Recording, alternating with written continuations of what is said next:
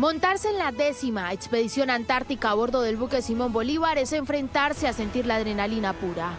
Los hombres y mujeres encargados de la misión están entrenados para enfrentar cualquier emergencia dentro y fuera del buque. En el momento menos esperado hay una señal. Atención al personal, esto es un ejercicio. Hombre al agua por el costado de babor. Personal pasar a sus estaciones.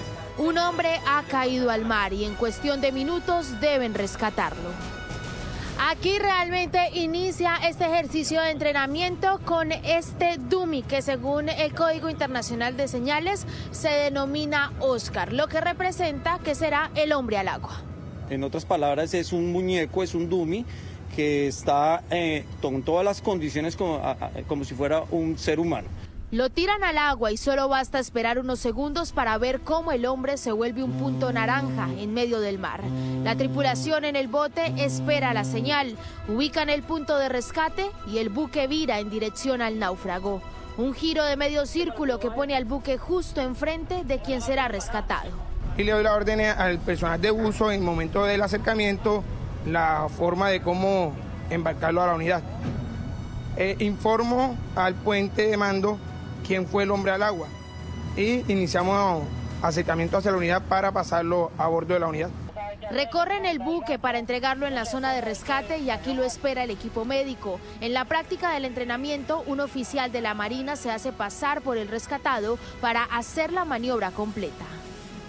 Bueno, lo primero que debemos hacer es retirar la ropa mojada y empezar a tomar la valoración primaria, los signos vitales para ver cómo se encuentra en este momento. Al mismo tiempo vamos realizando algo para mantener el calor con las mantas térmicas y por medio del enfermero vamos a ir canalizando para suministrarle líquidos endovenosos eh, previamente calentados. Cae la tarde y una nueva señal pone en alerta a la tripulación. Se simula un incendio. En uno de los laboratorios se inició la conflagración detectada por el personal de la Guardia. El suboficial Baoque lidera el grupo de reparaciones para combatir la emergencia.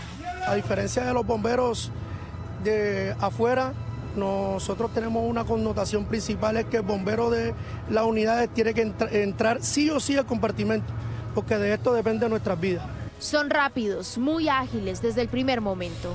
Nosotros somos los encargados de llegar a la escena junto con el líder a combatir el incendio, que nosotros estamos combatiendo la emergencia del incendio. Yo como tal llego a la escena, me equipo junto con un compañero, vamos en parejas y entramos a la escena a combatir el incendio. Como es un entrenamiento, lo que tratamos es de llevar al máximo al personal. Entonces todo inicia con una pitada, una pitada que anuncia dónde es la emergencia y qué tipo de emergencia.